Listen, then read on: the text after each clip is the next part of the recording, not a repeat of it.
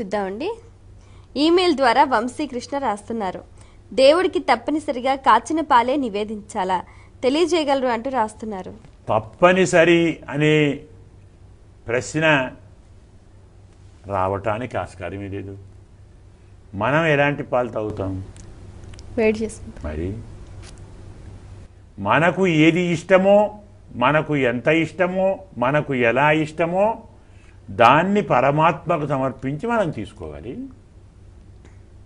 మనం కాచని పాలు తాగుతామా? మరి ఆయనకెందుకు ఆ బాధ?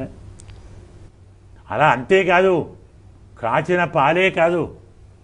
పరమాత్మకు మనం స్నానం పోసినప్పుడు కూడా గోరు వెచ్చ నీళ్ళతో స్నానం పోయాలి. కవోష్ణేన స్నపయీత్ అని సూత్రం.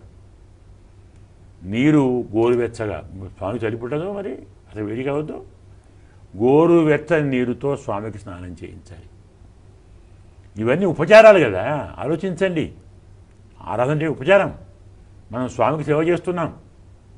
ఎలా మనం మన పిల్లలకు చేస్తాం? మన పాపకు చల్లటి పాలు తాగిస్తామా?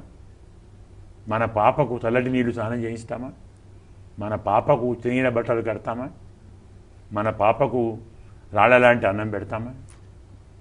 బాగా కాదు అన్నం పెడతామా? వేడుదనం మరి ఆయన మన పాపి. మన స్వామి ఎంత అదృష్టం అండి అఖిలాండ కోటి బ్రహ్మాండ నాయకుణ్ణి నీవు ఒడిలో కూర్చోబెట్టుకొని స్నానం పోస్తున్నావు. నువ్వు స్నానం పోస్తే ఆయన స్నానం చేస్తున్నాడు. నువ్వు బట్టలు కడితే ఆయన కట్టుకుంటున్నాడు.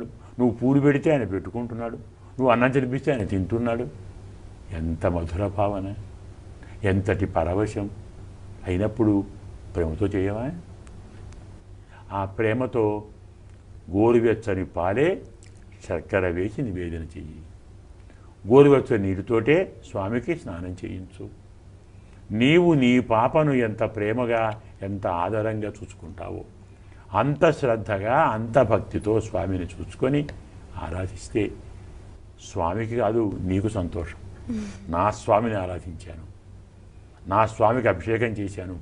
నా స్వామికి ఆరగింపు చేశాను. ఎంత ఆనందం అండి అలాంటి ఆనందాన్ని పొందండి. పరమాత్మ అనుగ్రహాన్ని పొందండి.